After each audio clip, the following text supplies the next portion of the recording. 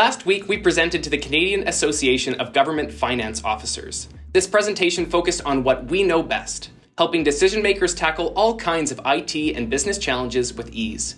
As an organization, we believe it's our duty to share the experiences and expertise from our team, and in the process, help others improve IT security and business functionality. Here's a preview of the webinar.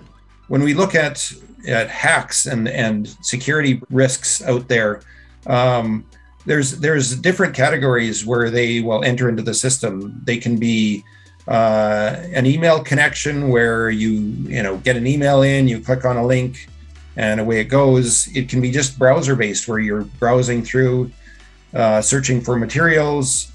It can be phone based where somebody phones you up and and just tries to get uh, more information, and that actually kind of links with the bottom one, which is social engineering, where people are trying to you know talk you into giving away more information than you should. Some of the uh, security uh, issues are network based, uh, where your Wi Fi network is open to the world, or there's some application out there that's visible to the world that's not updated with patches and protected.